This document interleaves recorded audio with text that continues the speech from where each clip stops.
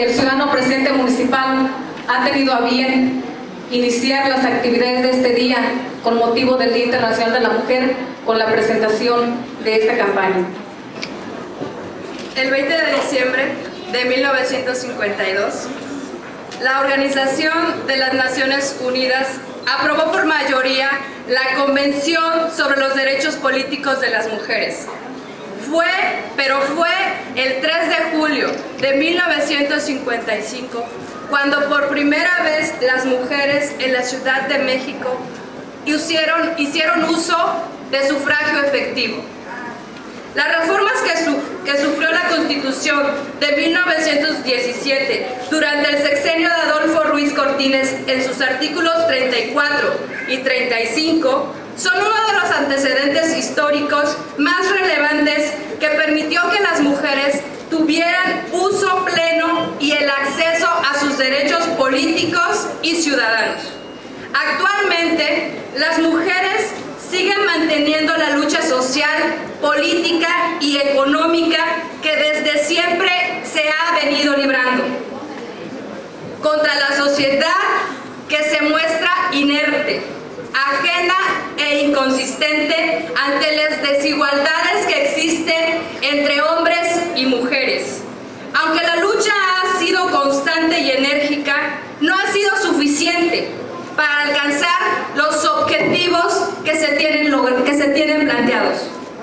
Hoy, 8 de marzo del 2013, no es momento de festejar, es un momento de conmemorar la incesante labor de todas las mujeres en el ámbito en el ámbito político, en el ámbito económico, en el ámbito religioso y en el ámbito cultural han, desempeñado para romper el estigma de que las mujeres somos débiles.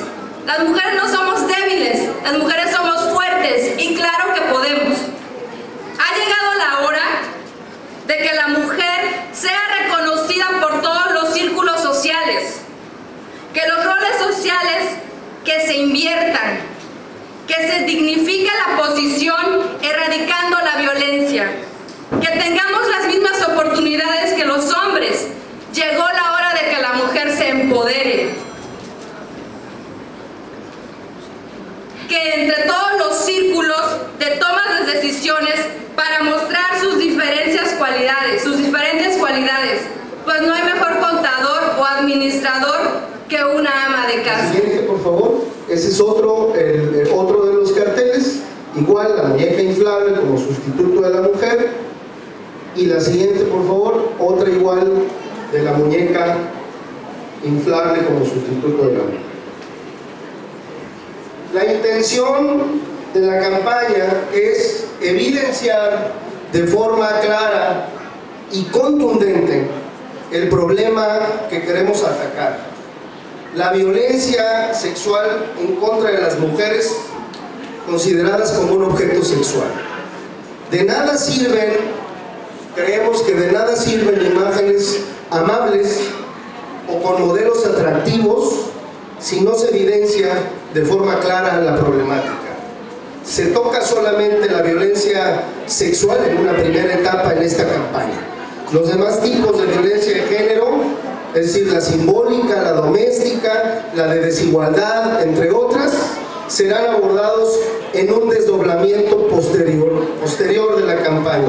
De lo que se trata al enfocarse en un solo tipo de violencia es que el impacto sea más fuerte, más consistente y más contundente.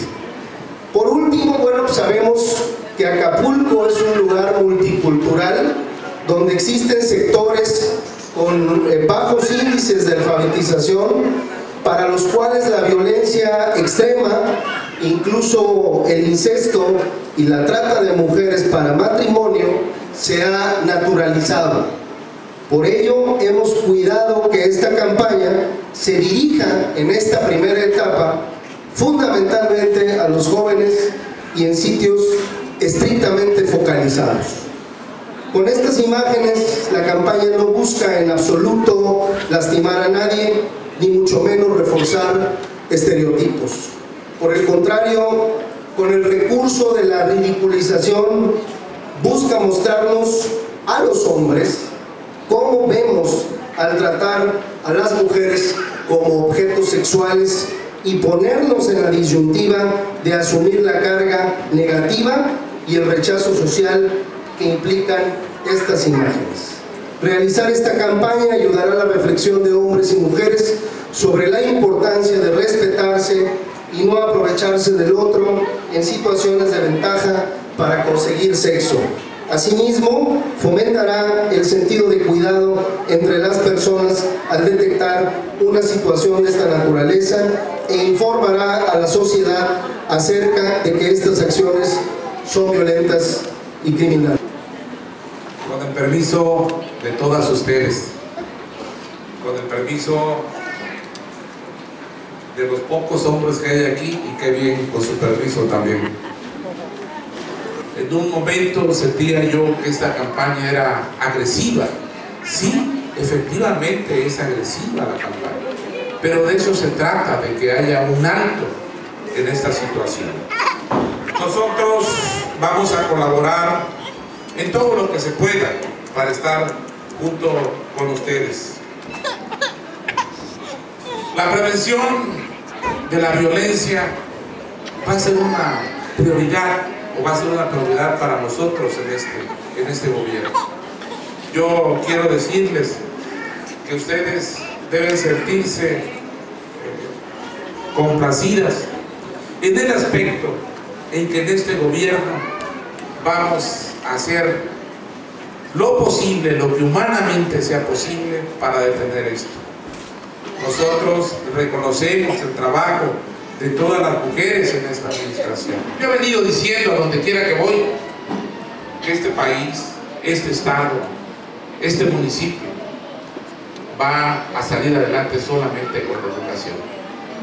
Y aunque no es el tema para tocarlo, aquí hay bastantes madres de familia. Hagan el esfuerzo porque sus hijos vayan a la primaria, a la secundaria, a la preparatoria, a la universidad, a la maestría.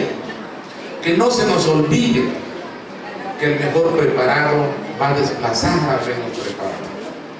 Y para concluir les quiero decir, hace 60 años México, nuestro país, era una potencia, era una potencia económica frente a otros países.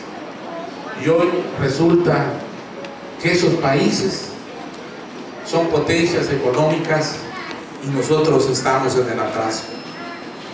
Y si regresamos a ver, si leemos, si vemos algún programa de televisión cultural, si estudiamos, si investigamos, esos países salieron adelante con educación.